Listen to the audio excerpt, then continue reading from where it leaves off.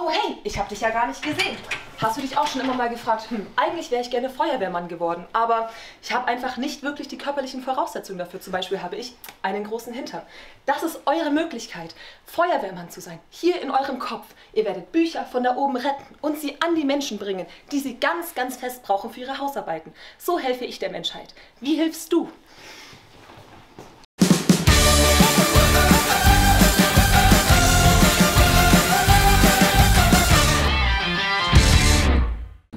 Die Sonne scheint und ich habe heute zum ersten Mal seit Ewigkeiten mal wieder Sonnencreme aufgetragen. Das heißt, es ist eigentlich schon Frühling und damit auch schon fast Sommer.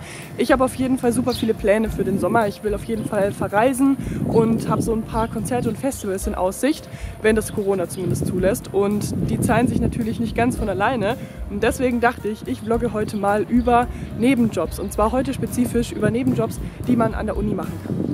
Es gibt da ja verschiedene, von Hiwi-Stellen bis zu nicht wissenschaftlichen Aushilfsstellen. Und ich treffe mich heute einfach mal mit ein paar Leuten, die mir ein bisschen was über ihre Uni-Anstellung erzählen. Und die erste davon ist Antje.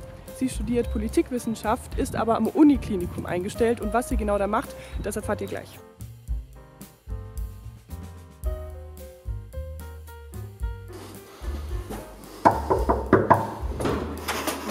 Ich kriege Kaffee. Juhu.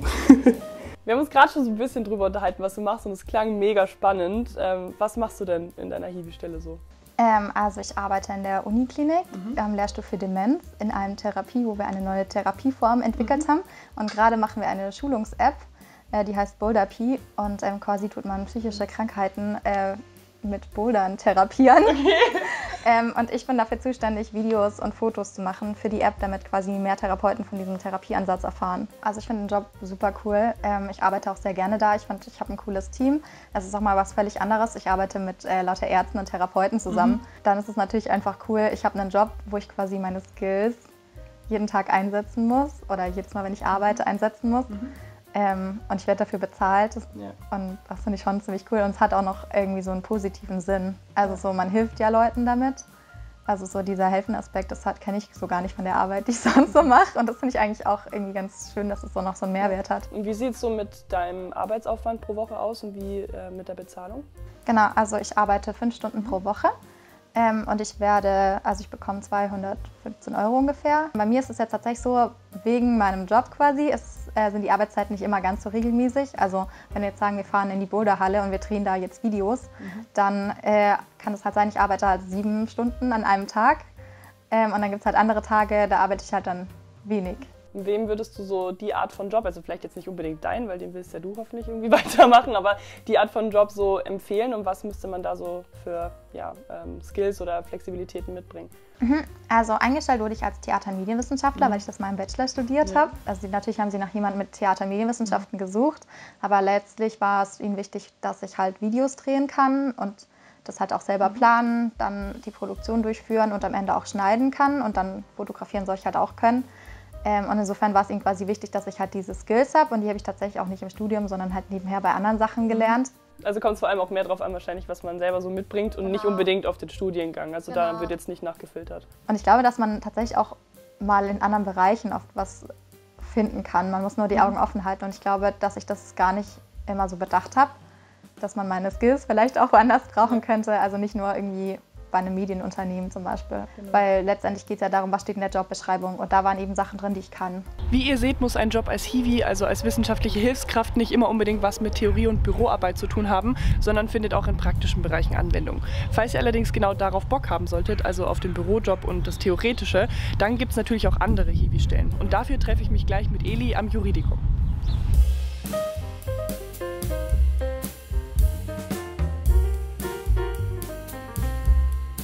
Hallo, na?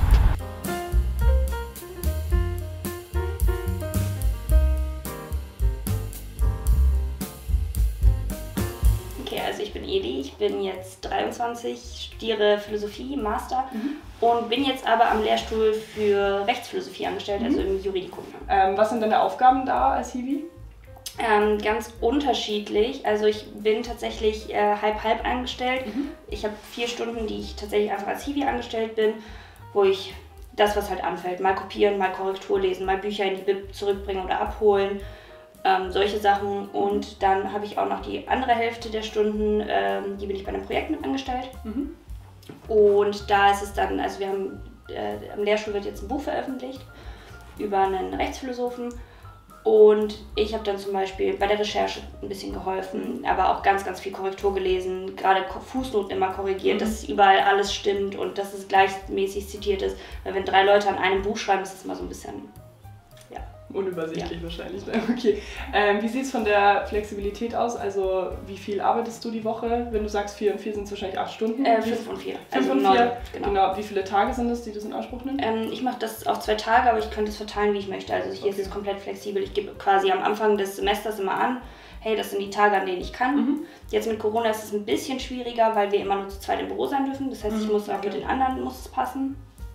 Aber sonst kann ich das machen, wie ich möchte. Okay. Und wie viel Geld kriegst du im Endeffekt davon? Ähm, ich glaube 418 oder so. Also es ist quasi noch so, dass es unter der 450 Euro Grenze ist, weil ich im Master bin, habe ich ja den Bachelor und bin in der anderen Stufe.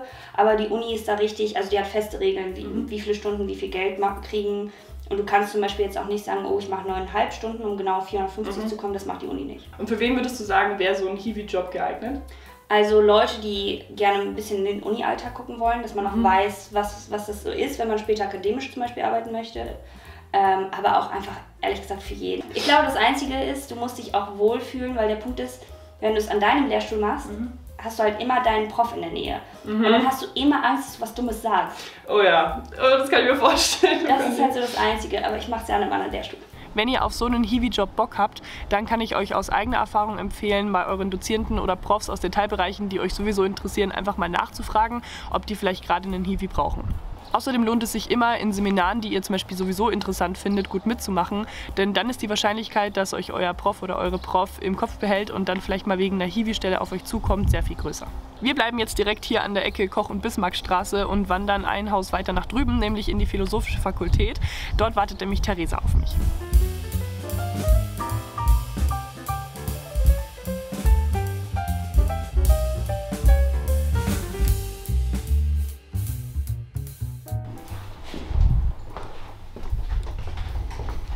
Hello. Willkommen in meinem Reich. Hi, ich bin die Theresa. Ich studiere momentan im dritten Semester Französisch und Geschichte auf Lehramt für Gymnasien. Und ihr seht mich hier in der Romanistik-Bib im achten Stock in der Bismarckstraße 1. Und hier arbeite ich jetzt seit letztem Wintersemester.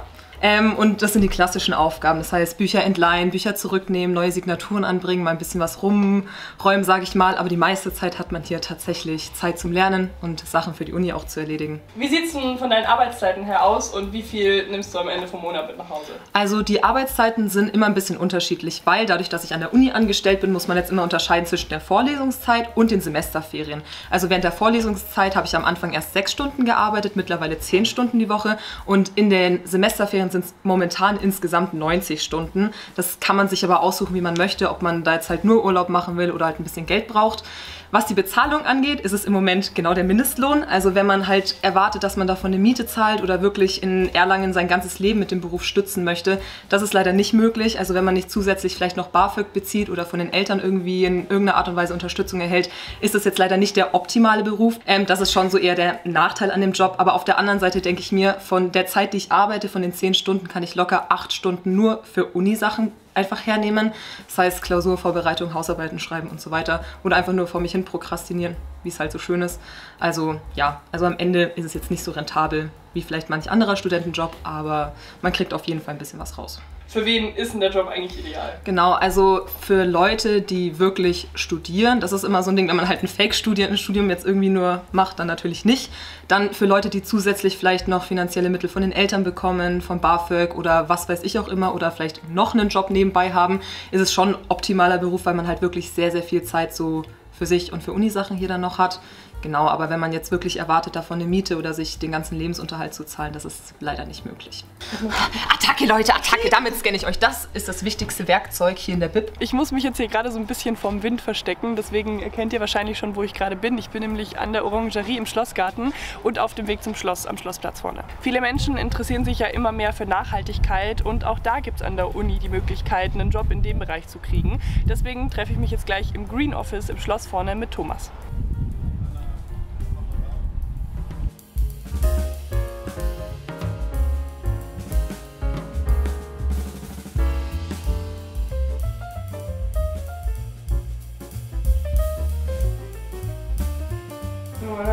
Ich habe eine Frage an Sie. Hallo.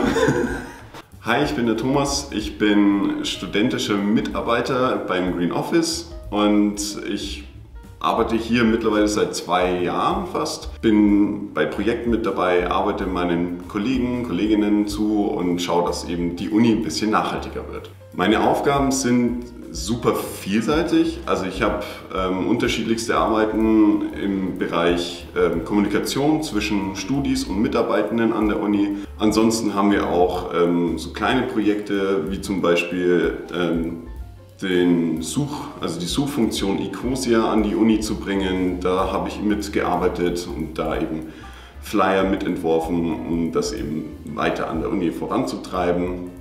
Wir haben Gebäudeumweltteams installieren lassen, ähm, die im Prinzip für ihre eigenen Lehrstühle zuständig sind. Und da habe ich eben ähm, die Meetings organisiert oder auch ähm, Treffen organisiert und halt eben die Planung dahinter gemacht. Also es ist ein sehr, sehr vielseitiger Beruf in der Hinsicht. Und vor allem auch sehr viel organisatorisches Fanziehen im Hintergrund wahrscheinlich. Genau. Wie sieht es aus äh, mit der Flexibilität in deinem Job? Also wie viel arbeitest du die Woche? Ist das geregelt? Und wie viel verdienst du im Endeffekt damit?